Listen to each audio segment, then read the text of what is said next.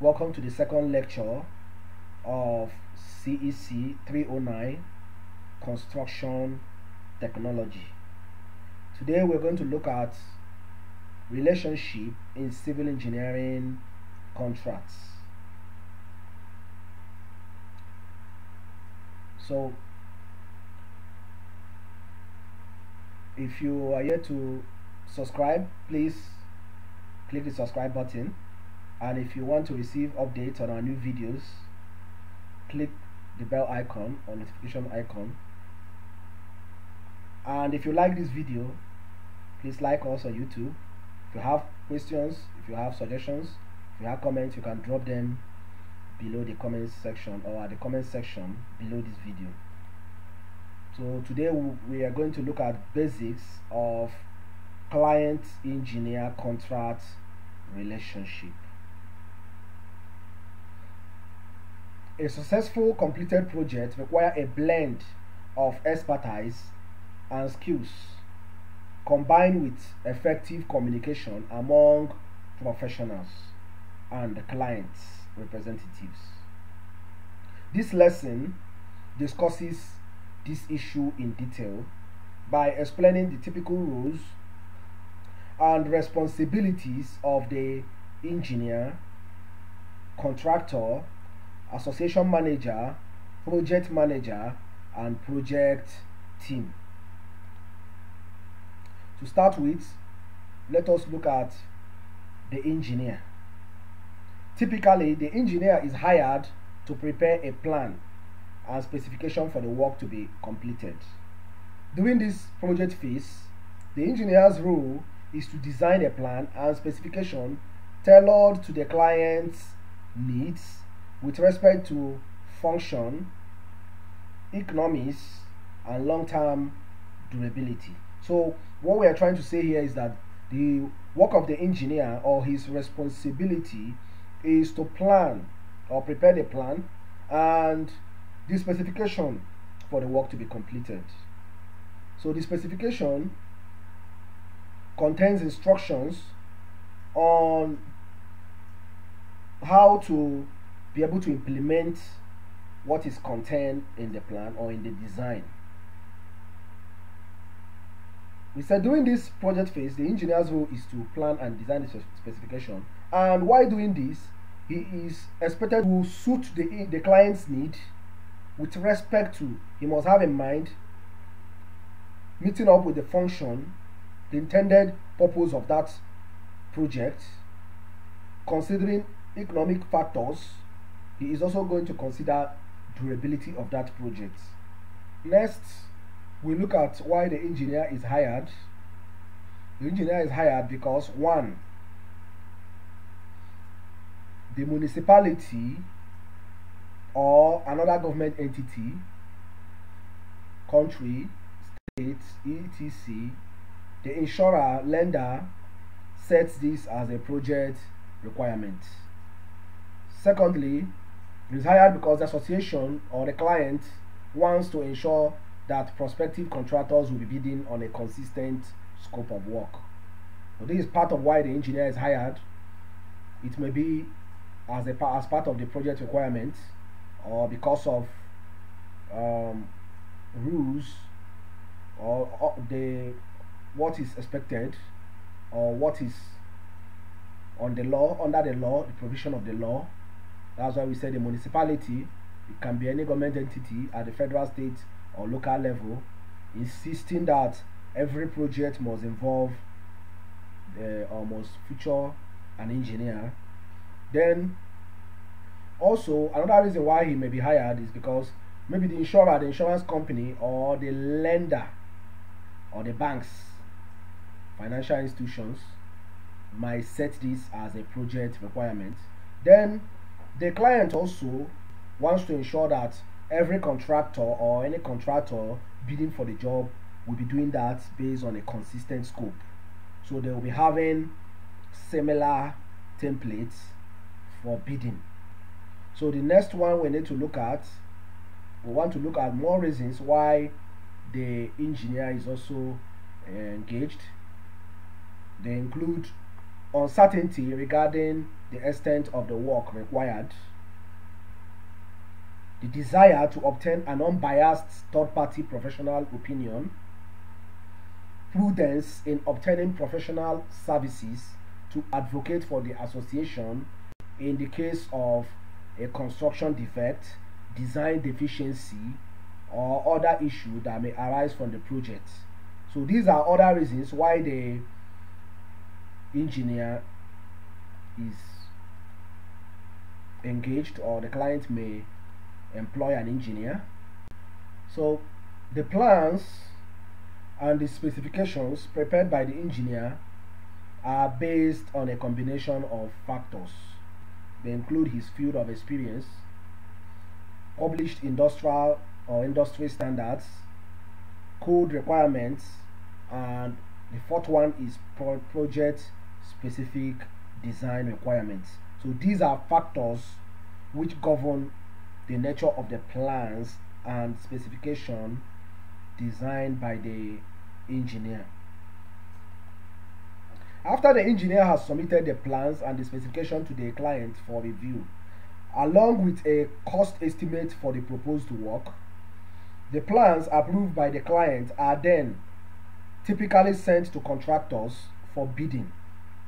Upon reviewing the bids, the engineer will provide a comparison of the bids to the client for selection of a contractor. So here we are saying that the engineer makes the plan and the specification. He then send it to the the client for a review and approval. Upon approval, it is being forwarded to contractors for bidding. So after bidding, the engineer reviews the bids and then provide a comparison for the bids for the client, comparison of the bids to the client and recommend who is best to deliver the job or to carry out the job. So the engineer makes a comparison of the bid for the client to select a suitable contractor. Next, we look at that of a contractor. So the contractor is obviously hired to implement the specified scope of work and is responsible for completing the work within the terms of the contract, including coordinating the delivery and installation of materials, disposal of debris, and all ancillary work. The contractor is also responsible for obtaining permits and coordinating approval from the local and state authorities. So, the function of the contractor is to implement the, speci the specified scope of work and he is also also supposed to do this or completing the work within the terms and agreement of the contract and including he is also expected to coordinate delivery of materials and installation of materials on site. Uh, disposal of debris is also his responsibility. And any other ancillary work then he is also expected to get permits from the local and state authorities. On every successful project, the contractor, the engineer, and property manager are a team and individually and collectively work for the same client with a singular goal completing the specified work on time.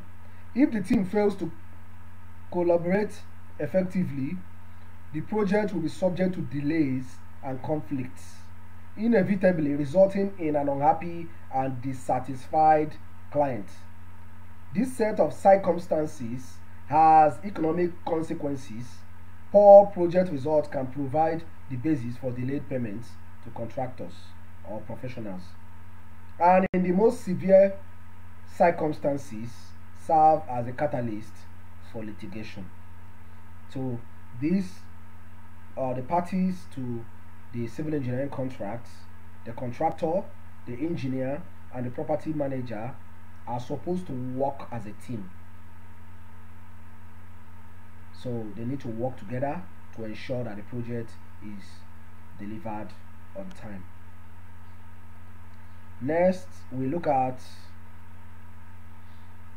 a resident engineer, his job description and responsibility.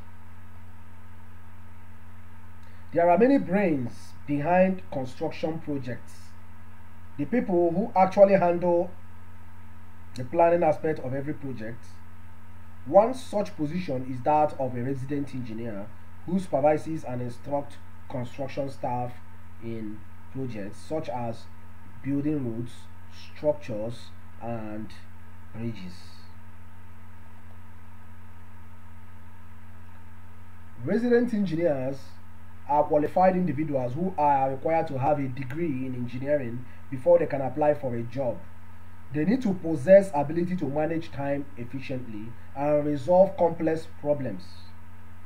Since they work with construction teams extensively, they also need to be able to provide technical advice akin to construction methodologies.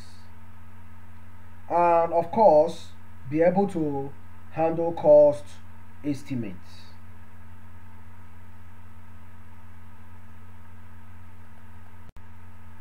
Apart from overseeing and monitoring construction staff, resident engineers also handle day, daily log, logs, project documents, and material calculations, which are essential to the success of every construction project.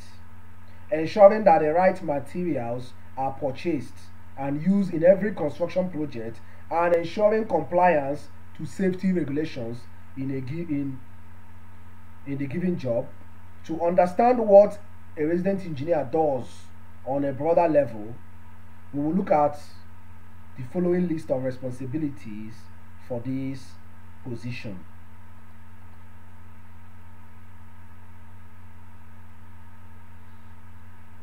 One of his duty or one of the duty his duties is to create and hand out schedules for construction staff working in the field.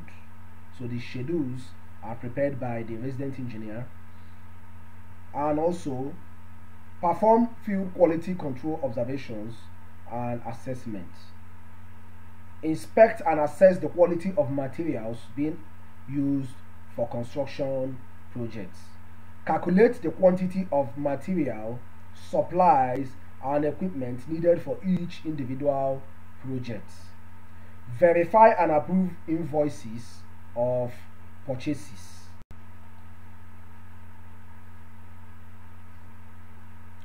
Oversee the work of field staff to ensure efficacy of work procedures. Ensure compliance to project specifications. Make sure that all construction activities are being carried out in accordance to preset safety rules. Ensure availability of resources and materials at all times. Provide recommendations for repair work and make sure that deadlines are complied to. Perform continuous evaluation on trends and ensure that preventive maintenance is managed at each stage of the project. Survey maps and blueprints prior to creating construction plans. Determine project feasibility and direct all resources to the site in a time efficient manner. Provide technical advice to field staff in order to ensure that construction procedures are being carried out properly. Identify construction constraints and plan and carry out measures to counter them. Prepare public reports such as bid proposals and environmental impact statements. Test sites to ensure appropriateness for construction projects. Prepare period reports and assessments for each project phase.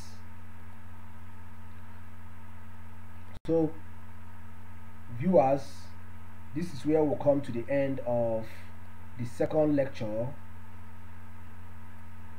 on the course CEC 309